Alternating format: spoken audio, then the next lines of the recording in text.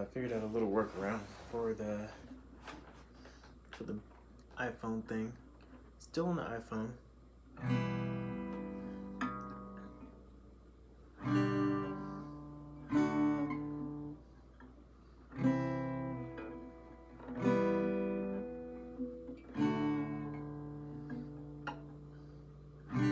I think I uploaded the five minute video, so caught up on the song and the chords and stuff.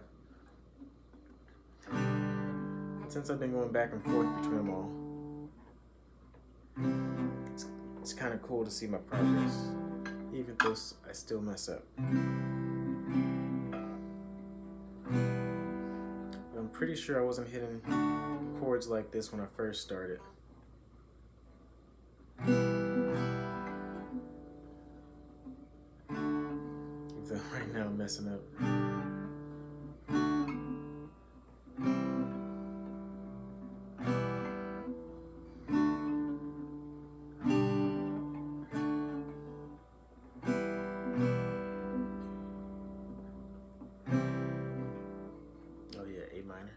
Gotta include the A minor.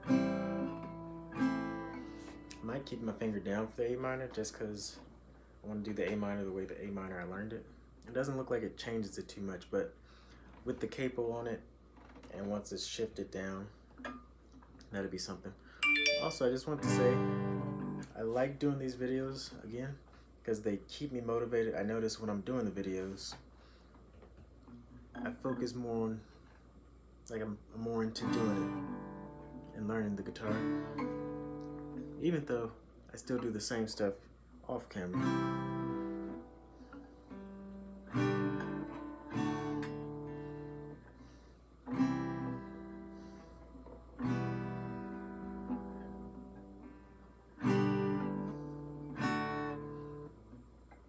I don't know what chord I was going to there. Might as well go to E since I had two fingers ready. Back to E. So when I learned this song, it's gonna be the strum version first, but then I do want to finger pick it. So I want to learn the song, I want to get really good at it, and then I'm gonna practice finger picking parts of it, like, because I'm gonna be able to strum it for the most part. Then I'm gonna be able to finger pick easy uh, parts of it, easy parts, work my way up to probably finger picking the whole thing. Because it's not a fast, fast-paced song at all.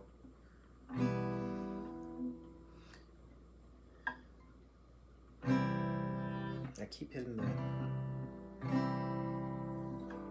hitting the sixth string when I do the C chord. And you don't, you don't need it. And I keep forgetting the sixth string when I do the E chord.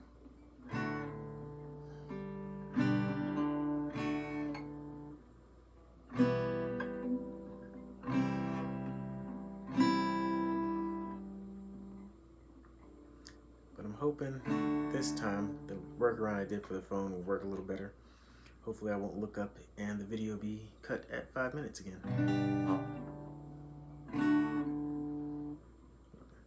But took me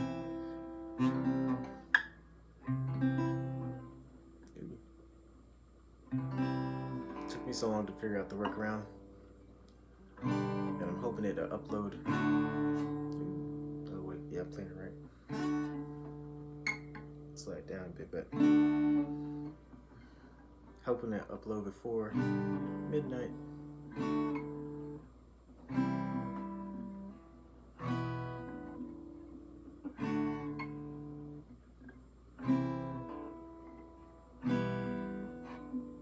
I'm realizing that I'm playing my E chord, the E minor, differently. I keep calling it the E. It's the E minor. The E actually sounds, they said brighter, like that. So as you can tell, the song I'm trying to learn, since it has the E minor,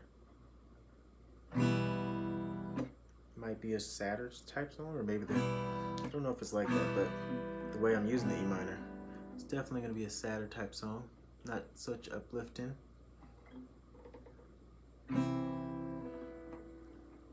it's a really good song. And I don't want to reveal it until I get good enough to play it. Or at least for the melody to be heard through it.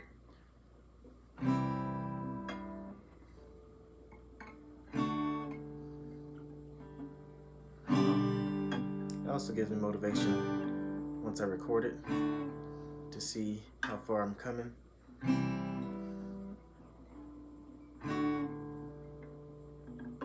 Right now I'm just practicing those chords I told you about.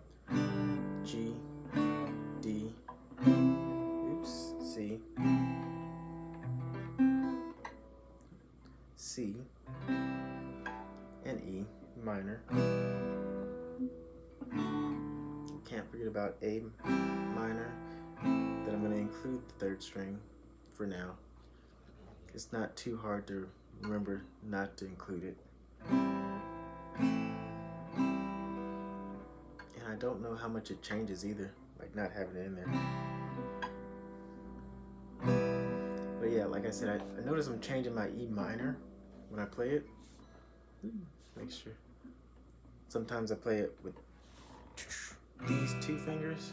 Sometimes I'm playing it with like these two. It's just whatever fingers are getting there at the time, so it's kind of cool. Okay, play the sixth string.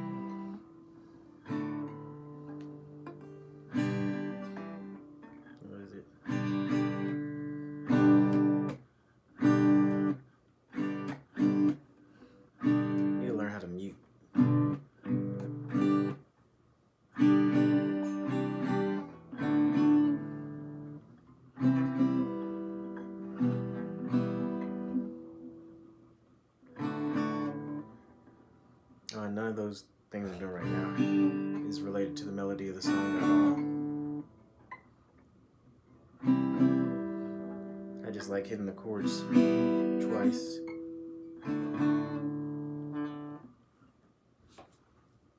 I wonder if I forgot that Despacito thing I did.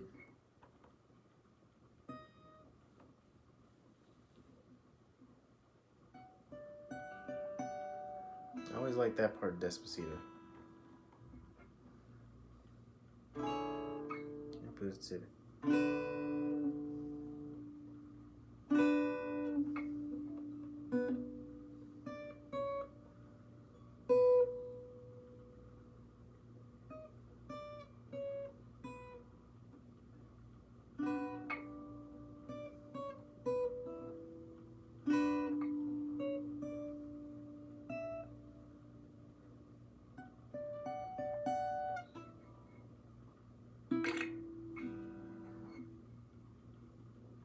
Little bit more of it than I, than I thought I would remember.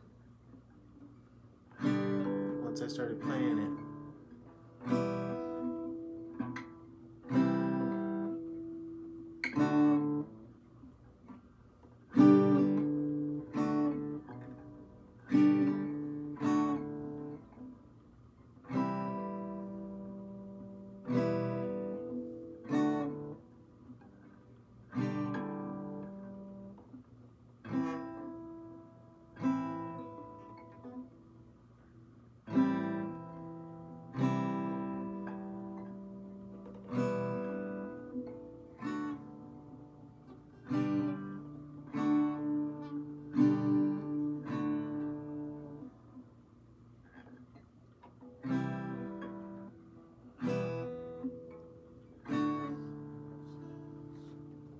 I'll adjust the camera next time. But for right now, I'm just enjoying playing.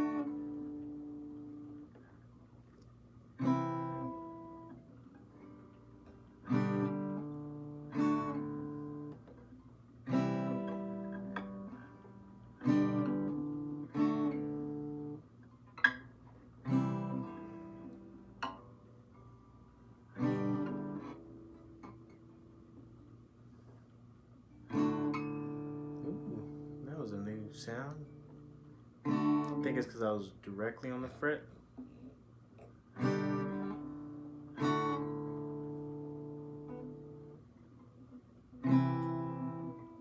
Next, that could sound cleaner. Yeah, That's a cleaner C right there. It's very clean E.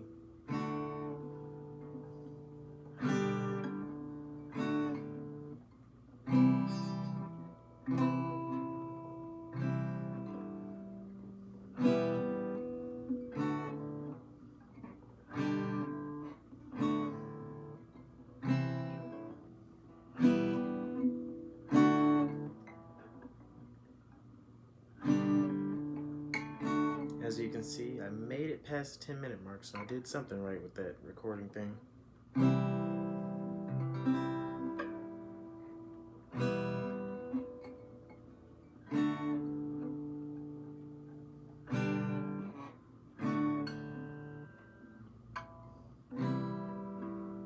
I think a lot of this rotation practice of going back to the C is definitely going to help me. Let's just help me like play the C and the E minor. I don't know how much practice I needed for the E minor. It feels like a, a chord I could have got to.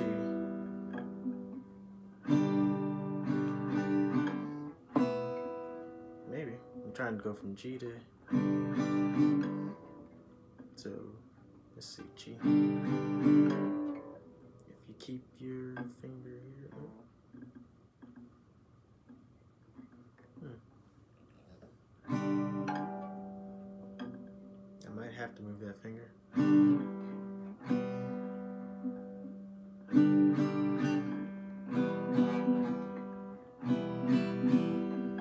So if you slide your hand,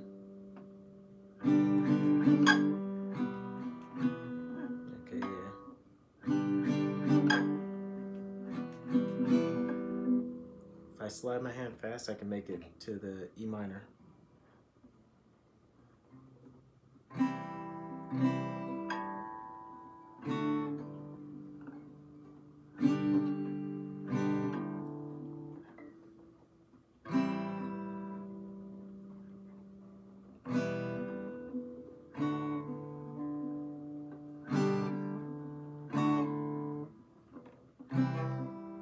Really been missing playing the guitar, so it's nice to sit down and relax and play some guitar.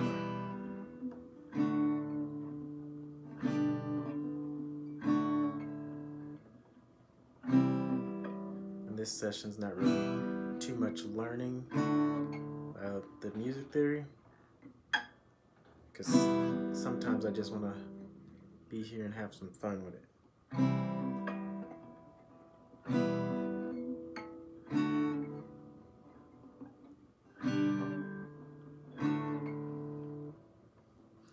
Was it? There's a song I used to listen to, a little beat. I guess it's not a song, it's a beat.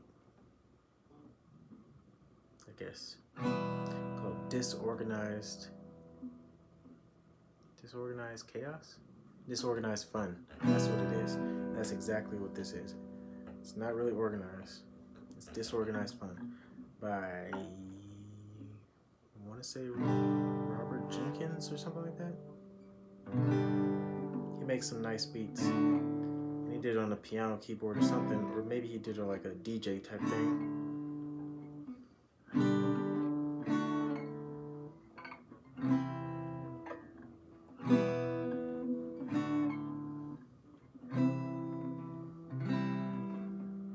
I definitely wasn't able to hit C major chord like I was now, especially the G major.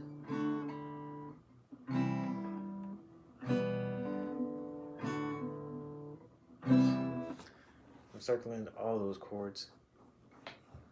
It's like a circle, kind of. But what time is it? Yeah, I'll finish up six more minutes. Because maybe that might give me time to upload it before the stroke of midnight.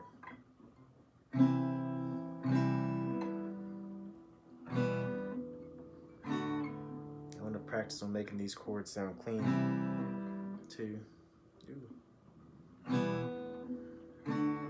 I can tell D is like the strongest chord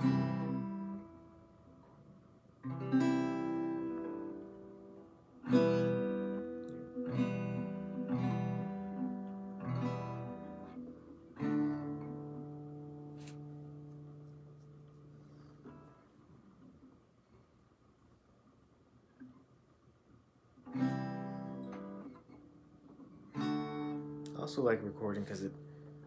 I don't mind having my mistakes out there. I'd rather see if I ever get to where I want to get to. Like, what did I do to get there? like I said, recording all this stuff is more therapeutic. And who knows, maybe there's somebody out there who would actually take this these videos and learn something. Oops.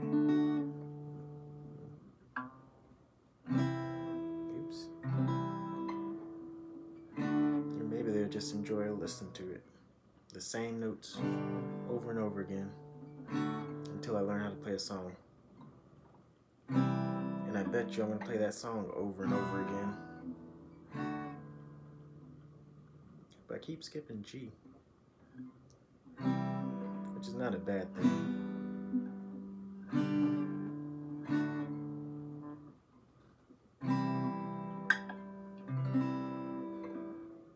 I spent a whole lot of time practicing G.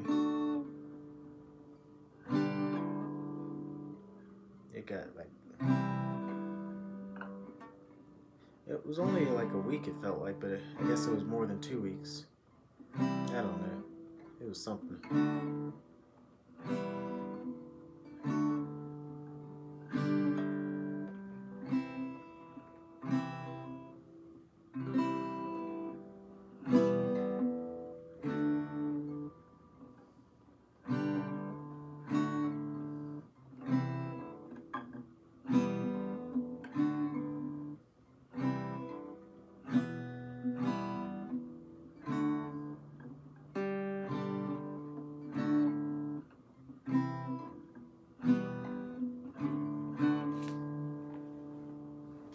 The transition's happening pretty fast, which is nice. And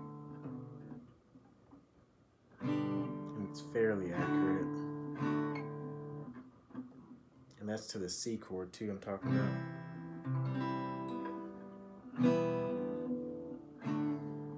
Oops, messed up on the D.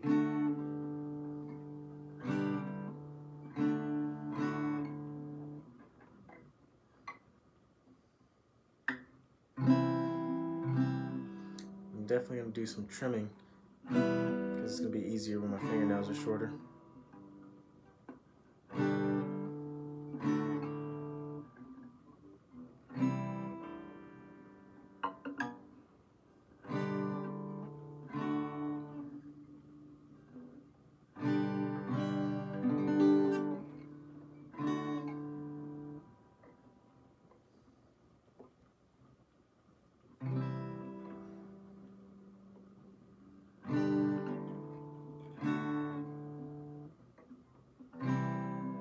Some travel coming up.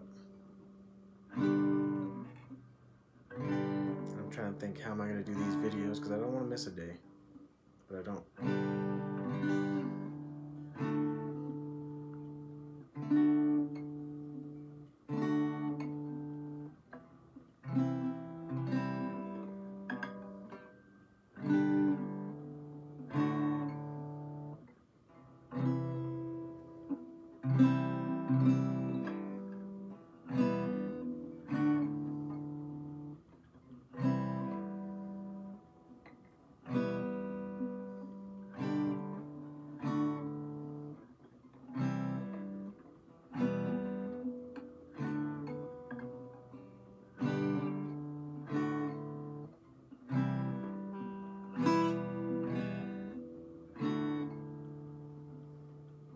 Attention to the time.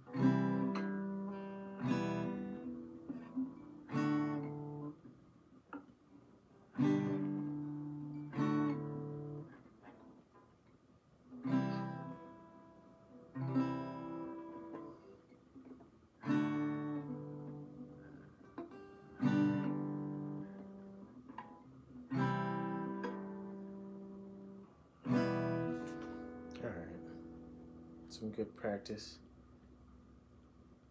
I like when I see my calluses coming in, I'm like, yeah, that's some good practice.